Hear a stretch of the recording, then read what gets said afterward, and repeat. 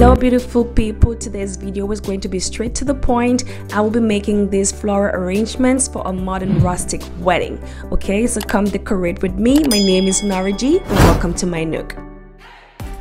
So I got these flowers, some from Michaels and some from Amazon. I'm going to have them linked below so you can actually check them out as well. So here is the floral arrangement that I already have ready for the wedding ceremony setup. It is a simple wedding. The bride wanted something very simple, not over the top, just candles, some greenery, some flowers, and some pop of red. And so I hope you understood the assignment and we're going to deliver. So come set up with me. Let's go.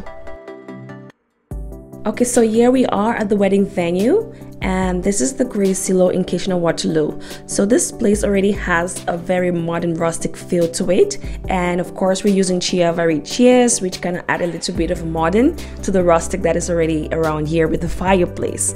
Alright, so we're going to get right into it and with that said, let's get started.